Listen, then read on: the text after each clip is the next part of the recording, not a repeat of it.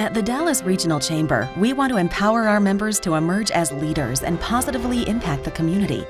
Our leadership development opportunities give members the skills and resources they need to reach the next level. Young Professionals is our go to organization for developing future leaders who are committed to personal growth and career advancement in the Dallas region. Leadership Dallas aims to provide our region with an ongoing source of diverse leaders who are prepared and committed to serve as catalysts for positive change in the region.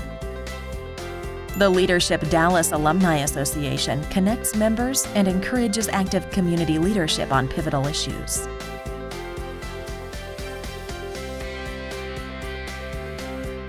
Executive Women's Roundtable brings together businesswomen from a variety of industries to build relationships and learn from other executives in leadership positions.